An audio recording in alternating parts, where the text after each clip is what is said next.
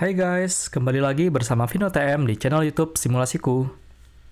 Kita akan bahas soal dari SBMPTN tahun 2018 sekarang.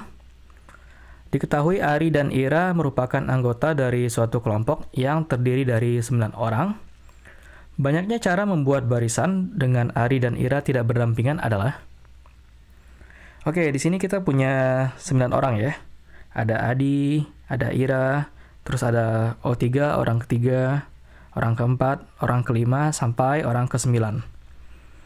Jadi pertama kita akan membuat barisan, tapi syaratnya adalah Ari dan Ira tidak boleh berdampingan. Jadi cara gampangnya adalah, pertama kita hitung dulu ya.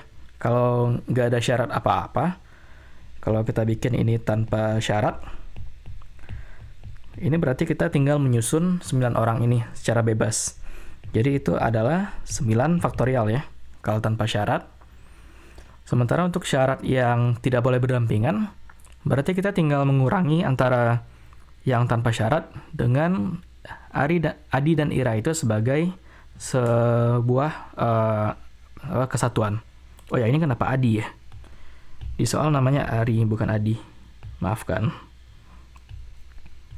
Oke, Ari. Nah, berarti kita anggap dia satu kesatuan di sini. Jadi sekarang kita punya 8 kelompok yaitu Ari dan Ira dan tujuh orang lainnya. Jadi kalau Ari Ira, Ari Ira deketan, kita tulis di sini. Ini berarti sama dengan 8 faktorial dulu, karena dia ada 8 kelompok ya. Tapi ingat bahwa Ari dan Ira sendiri itu juga bisa saling bolak-balik. Bisa Ari dulu, baru Ira, atau Ira dulu, baru Ari. Jadi ini ada dua kemungkinan lagi, dua faktorial. Maka untuk yang perhitungan kita sekarang adalah tinggal dikurangi 9 faktorial dikurangi 8 faktorial kali 2 faktorial. Kita sekarang akan cari bentuknya agar sesuai dengan pilihan ganda. Di sini kita akan coba mengubah bentuk 9 faktorial menjadi 9 dikali 8 faktorial. Di sini berarti sama dengan 2 dikali 8 faktorial ya.